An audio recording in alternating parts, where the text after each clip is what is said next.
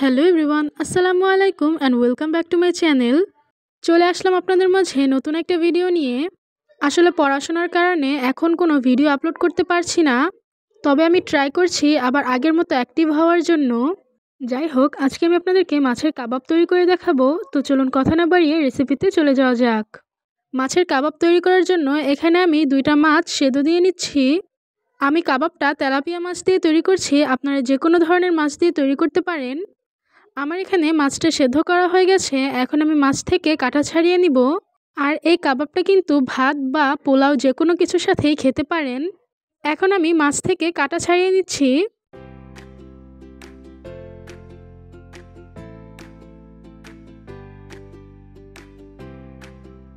দেখতেই পাচ্ছেন, আমার এখানে মাছ থেকে কাটা ছাড়ানো হয়ে গেছে। এখন আমি কাবাব তৈরি করার জন্য এখানে হাফ কাপ পরিমাণ পেঁয়াজ কুচি নিয়ে নিচ্ছি।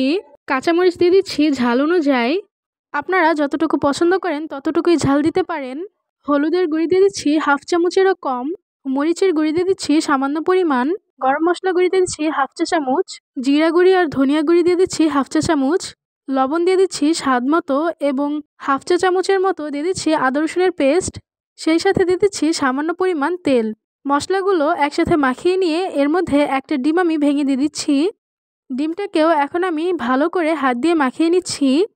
এরপরে মাছগুলো আমি এর মধ্যে অ্যাড করে নিচ্ছি। মাছগুলো এখন ভালো করে মশলাগুলোর সাথে মিক্স করে নিব। কাবাবটা মুচমুচে করার জন্য আমি এখানে দুই টেবিল চামচ পরিমাণ কর্নফ্লাওয়ার অ্যাড করে নিয়েছি। এখন আমি কাবাবটাকে শেপ দিয়ে নিব, যার কারণে হাতে সামান্য পরিমাণ তেল দিয়ে কাবাবের মিশ্রণটা নিয়ে নিলাম এবং সুন্দর একটা শেপ দিয়ে নিচ্ছি। আমার এখানে সবগুলো কাবাব তৈরি করা হয়ে গেছে, এখন আমি এগুলোকে ভেজে নিব। কাবাবটা ভাজার জন্য এখানে আমি ব্রেড গ্রাম নিয়ে নিয়েছি। এখন আমি কাবাবগুলোকে ব্রেড গ্রামের মধ্যে দিয়ে এরপর একটা একটা করে তেলে ছেড়ে নিচ্ছি।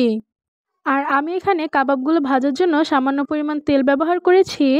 এক এক করে সবগুলো কাবাব আমি ঠিক একইভাবে বেডগ্রামে গড়িয়ে নিয়ে তেলে ছেড়ে নিয়ে ভেজে নিচ্ছি। কাবাবের এক পাশ মুচমুচে করে ভাজা হয়ে গেলে উল্টিয়ে দিয়ে আরও এক পাশ ভেজে নিচ্ছি। দেখতেই পাচ্ছেন কত সুন্দর একটা কালার এসেছে। এখন আমি ওই পাশটাও একটু উল্টিয়ে দেখে নিচ্ছি।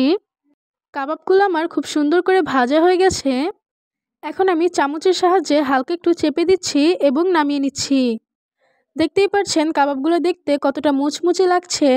আর কাবাবটা খেতেও খুব মজাদার ছিল। আশা করি এই কাবাবের রেসিপিটা আপনাদের ভালো লাগবে এবং বাড়িতে অবশ্যই ট্রাই করবেন।